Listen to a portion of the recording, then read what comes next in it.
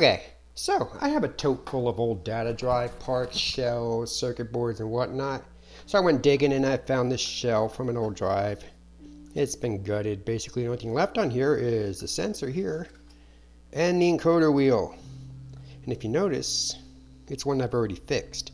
How can you tell? Because when I fix my encoder wheels, I use 3 8 inch inside diameter, half inch outside diameter clear vinyl tubing. Slide it on a dowel, take my utility knife, cut a piece off, make sure there's no edges. Then it easily slides on here and it stays on with no glue. So if you purchase a Coleco Adam anywhere on eBay or whatnot in the future and you happen to find one that has this clear vinyl wheel, odds are it's one I fixed. So we're going to gut this one. I'm going to take this piece out of here, out of the shell. And we're going to use it to fix the other one. Because that one was ruined. It's a chance you take. Sometimes they're ruined, sometimes they are still salvageable. I hope this is not one that I crazy glued. So far, so good. So that comes off nice and clean. Set that to the side. I may have crazy glued that part on there. Look at that. Nope. But look at this. Know, I see double-sided tape.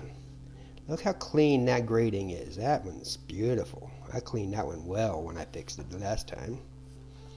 And then, where is the tweezers? The various parts. The axle. All the washers. Again, wet your finger. Come in here, they'll stick to it. Now the fascinating thing is, sometimes there's one washer on each side, sometimes there's three, sometimes there's none. I, at first I thought, well, maybe they're trying to like center them and stuff. Then I realized, you know what? Somebody was lazy. They didn't put three washers on it because I love the Adam. We all love the Adam.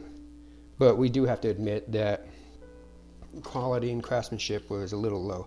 Idea was great, craftsmanship was low. So the first thing we do is we take, we're going to put this one back together now. Take our axle with our tweezers. If you look down in there, you see the hole it's got to go into. It's hard to do it while I'm using the camera at the same time, but that goes into the hole. Get in the hole. There it is. Okay. Then Wet the finger. I only want one. Take a washer. Miss. Get the washer back out. Wet the finger again. Again, it's a little bit more difficult to do with the camera, but see, I got a washer on that. Now we take and we put this on there. Don't grab the outside, you'll crush it. I did that with the first one I ever fixed. Now as you can see, see how it just sits in there? This is not glued, it just sits in place. Take this.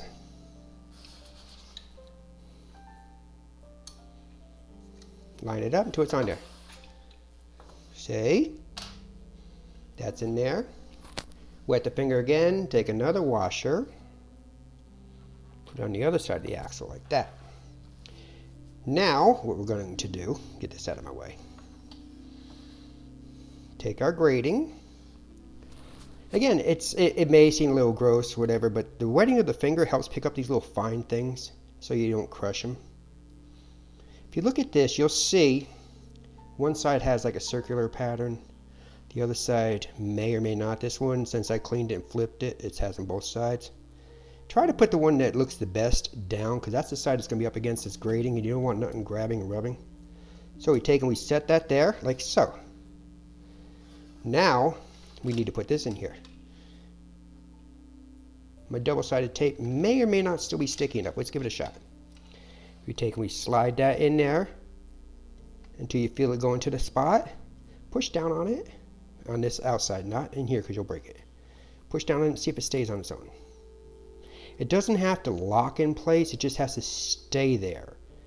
Because once we put this other part on, this right here, it'll hold it together. Now, I could take this dirty one. I'm going to take the nice clean one that I just had. It's the same design. If you're repairing these things, watch them. They are different. These are the same kind, but there's two different designs I've seen also. And when I pulled it apart, it had the screws over here. The one I just took apart had the screws at an angle. Does it matter? I don't know, but I'm going to put them in this way because that's the way this one came apart. So what you do is, again, be very careful. Let me get these extra pieces out of my way. Because I have to put this in here, but at the same time, I have to, you know what? Screws out of, get the screws out. I have to put this in here, but I have to also line it up to sit on top of that. Oop. See, my washer came off. See that? Wet the finger. Sorry about the hands in the way. Didn't work again. Maybe I can do it with the tweezers. Come here. No, don't you get under the grating. Try this again with the wet finger. Alright. Now, I'm going to do this off camera for a second. Yeah, it's very easy if I can just take it off camera and just put it right up close to my eyes. Now, like I said, what I got to do is I got to put this on here and I got to set it down. And if you notice, man, arg. Club fingers. Let's try this again. I think everything just came apart. So let's take it all back apart. Start over. Again, club fingers. Gotta be careful.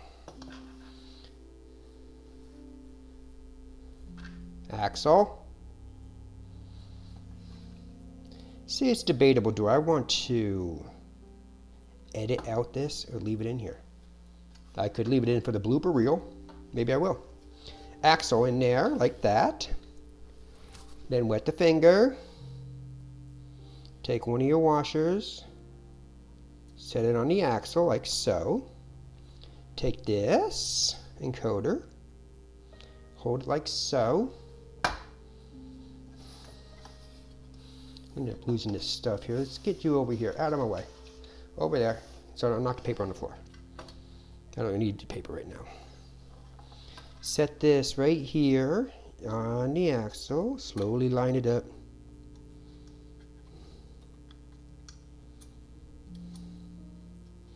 Alright, that's in there as such. It may be difficult to see, but you can see it's in there. Wet the finger again, another washer. Don't drop it. Come here. It's being difficult today.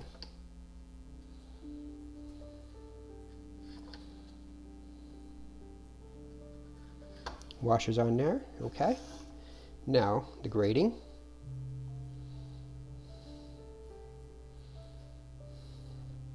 The cleanest side down towards the encoder wheel. Right, now that's in there. You are in my way. Get out of the way. Thank you. Some of these drives you can't take the controller board off of it. The controller board's attached with solder. And because of that, you have to struggle with the controller board anyway too.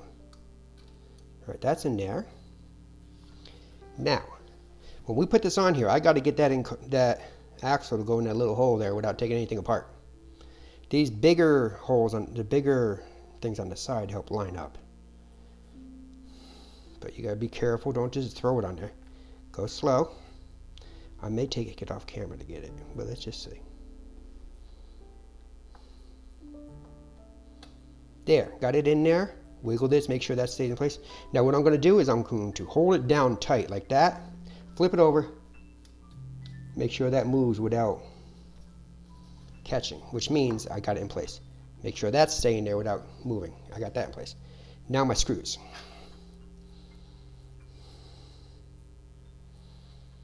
One there.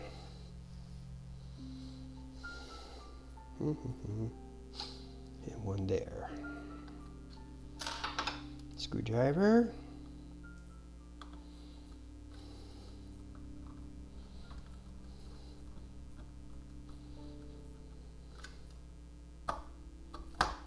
Don't over tighten it to where you strip or break something. But you do have other holes that you can use instead. Every one I've seen has had two screws on it. I don't know why they only use two and not four. Saving money, who knows? Alright, now it's in. Let's make sure again. Move smooth. That's not going nowhere. So now we're going to put it back together. Step one, we're going to take right here the RF shield. Oh, you know, I'm going to have to stop recording, dig in my video, and find out how that thing plugged in. Alright, so I'm back. I went and watched the video and I found the relevant clip and took a screenshot of it on my iPhone here so I know what to do.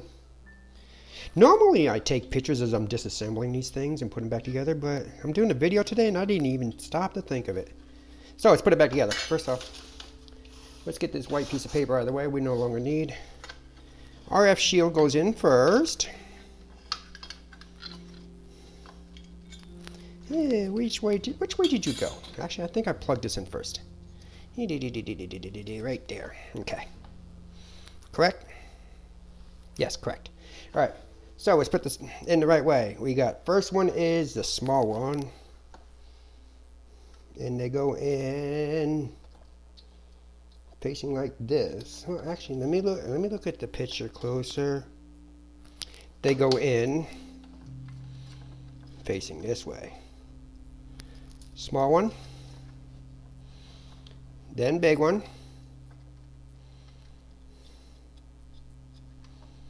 Then black one. Which one is black? Black one. Then the green one. Yeah, I should have marked these things. I should have done something like that. That's a mistake on my part. Alright, now we take the RF shield.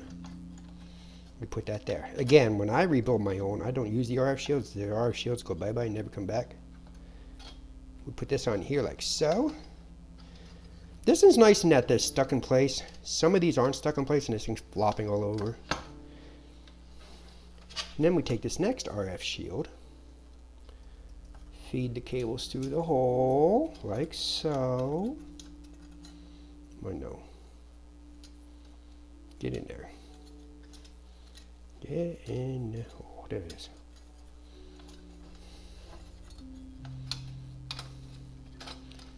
Come on, get in. Crazy piece of wire. It wants to be difficult. Stop. That's not nice. That shield wire is just empty. It's bare. You're being difficult. Yeah. Yeah. There we go. That one goes in there like so. Yep. Maybe we should plug this one in, Millie. What you think? Oh, I guess so. Plug that one in too. Now I'm going to assume it goes that way because that's the way the wires are. Yes, it goes that way.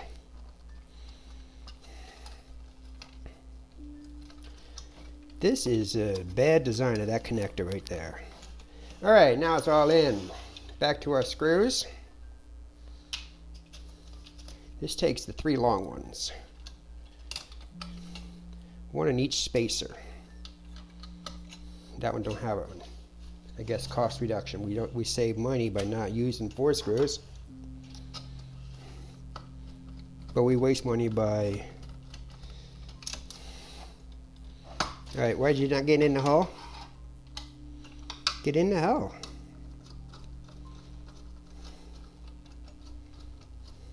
Yeah, she's been difficult.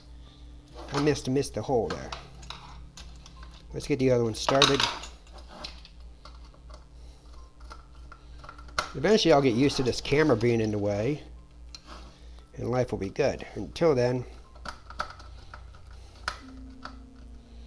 alright.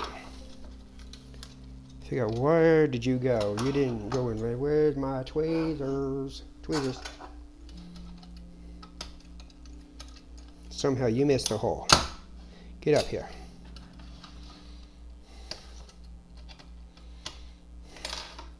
Or was you stripped out? You could have been stripped out. Yeah, it's just like stripped out there. See that? It just doesn't want to go in.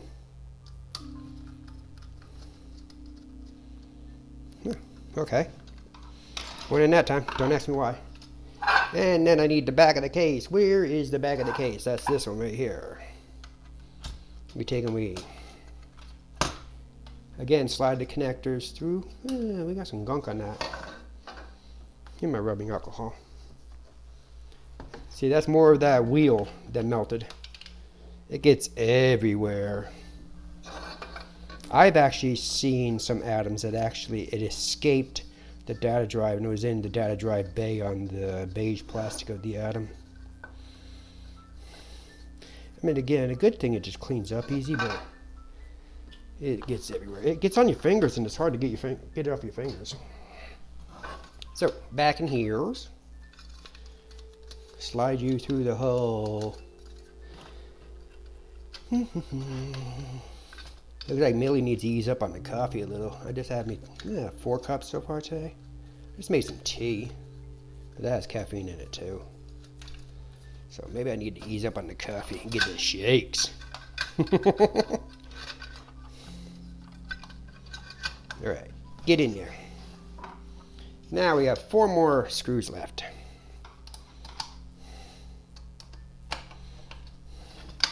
You know what sucks is when you do all this work and then you put it back together and it don't work. I can't tell you the number of times that has happened to me. I think the first time I ever fixed one of these wheels, when I put it back together, I broke a wire loose without knowing it. And it drove me crazy until I finally found the wire flopping around, a little black wire. It was a ground, but it was just flopping around in there. Well, it wasn't flopping, it just wasn't connected anymore. And I had to solder it back in place. That was years ago. Tighten up, tighten up. All right, so that's done. The Encoder wheel spins nice and smooth. We're gonna take and put the cover back on. When you put these covers on, watch the little spring right here. Make sure it doesn't go behind it because you won't know and all of a sudden it, it, you just can't get the, dry, the tape to go in. Be careful to this too. These will snap. There we go. And look at that. See? Doesn't want to pop out. What is going on here?